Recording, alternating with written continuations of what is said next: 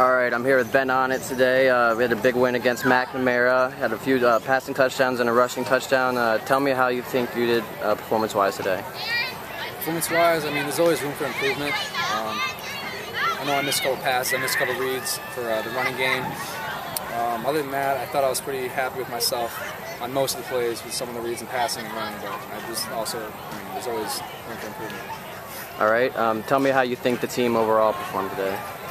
Uh, overall, we had our points where we were kind of uh, struggling with penalties and kind of getting our heads out of the game and everything. I was trying really hard to get make sure everyone know that you know this team won the game by scoring 31 points in the fourth quarter last week.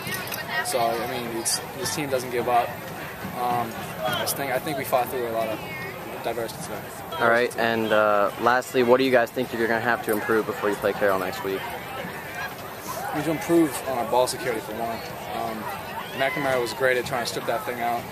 Uh, there'd be a lot of times where you'd be running the ball and they wouldn't even try to to hit you. They would just try to jump on the ball. So I think we have something to work on ball security, keeping our heads in the game.